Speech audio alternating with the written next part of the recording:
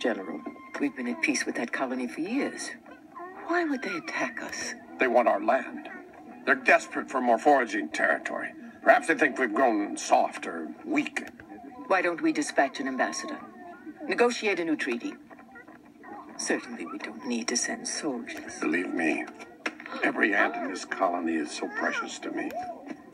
Uh, that's why we must strike now. We have the element of surprise. If the termite shock troops enter our colony, well, Yes, General.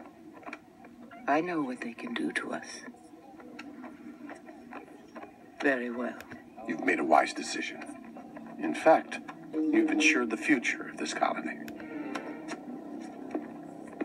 Hello, General. Princess Bala. Well, what a nice surprise. You look lovelier each time I see you. Thanks. I hope you're not just here on business, Oh, of course. of course not. because um, it might be nice if we had a conversation once before we get married. You're absolutely right. Cutter, uh, schedule some private time for me and Princess Bala. In fact, sir, there is time right now for a personal moment. We're a few seconds ahead of schedule. Excellent. Princess? Well, a few seconds isn't much, but I guess if it's quality time. So, how was your day?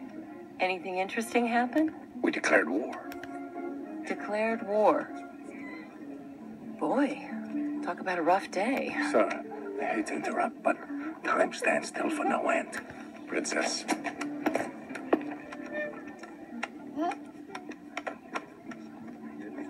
Mom, could you remind me why am I marrying this guy?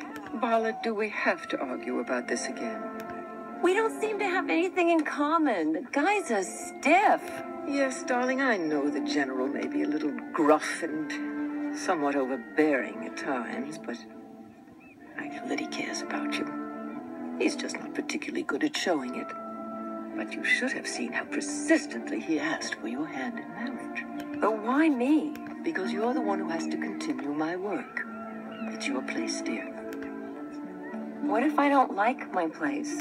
Everyone has their place, Bala. You, the soldiers, the workers. Now, it's not all that bad being princess, is it? Would you prefer to be carting around dirt all day? Oh, Mother, don't be so dramatic. At least they seem to have some fun every now and then.